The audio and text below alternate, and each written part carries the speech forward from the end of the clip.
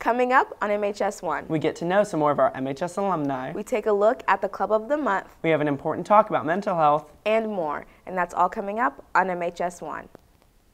The new strategic guessing game Wordle has taken the world and MHS by storm.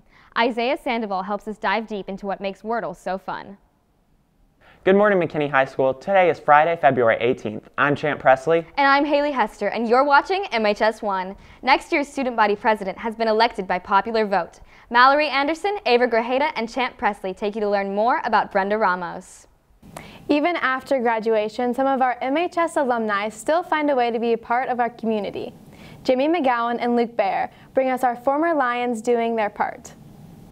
Cosmetology is not just a class offered here at MHS. It allows students to get firsthand experience on real clients. Emma Johansson and Airly Rosa bring us the story. Thanks, Nia. Well, that's all we have for you today. Make sure to follow us on Twitter at Manestream News and on Instagram at MHS Manestream. And remember, If it's news, and it's at McKinney High School, It's MHS1.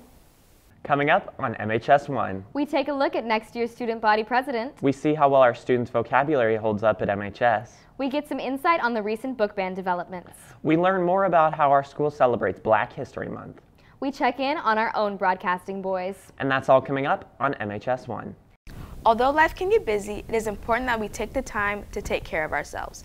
Brylan Schrock, Maddie Metcalf, and I take you downtown to a little shop that specializes in just that. Just one. We pay tribute to a beloved staff member We take a look at a long-standing Texas tradition, and more. and that's all coming up on MHS1. Good morning, McKinney High School. Today is Friday, December 10th.